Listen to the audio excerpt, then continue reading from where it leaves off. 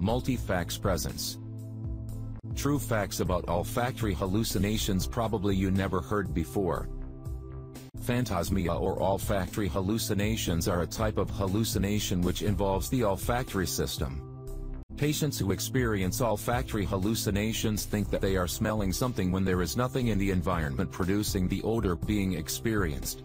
They may be able to describe the smell in detail, and they can have reactions to the smell such as gagging at the smell of feces or increased saliva production at the smell of chocolate chip cookies.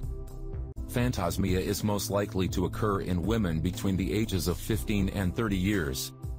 The complaints of phantosmia include unpleasant odors most commonly including burns, foul, rotten, sewage, metallic, or chemical.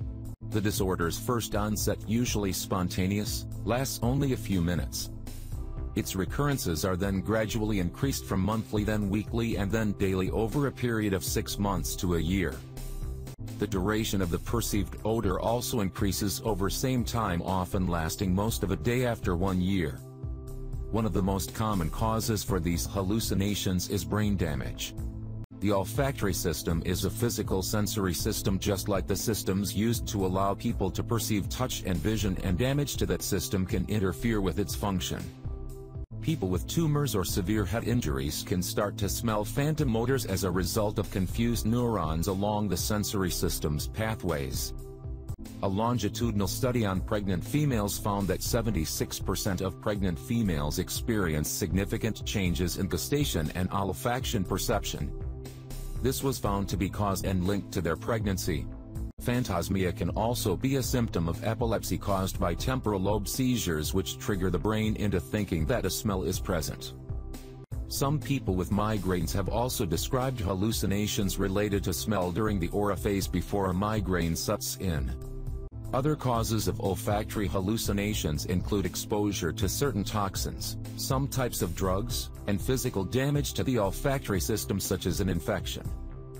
Due to the rareness of the disorder there is no well-defined treatment. Sometimes the patients are just told to live with the disorder or the patients end up performing stereotypical methods that might help in reducing the severity of the odor. The most commonly used treatment method is the removal of the olfactory epithelium or the bulb by means of surgery to alleviate the patient from the symptoms.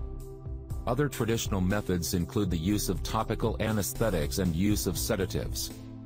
If you have any facts of your own about olfactory hallucinations, leave a comment below. Please subscribe to this channel for more interesting videos. Find out more videos about mental health on this channel.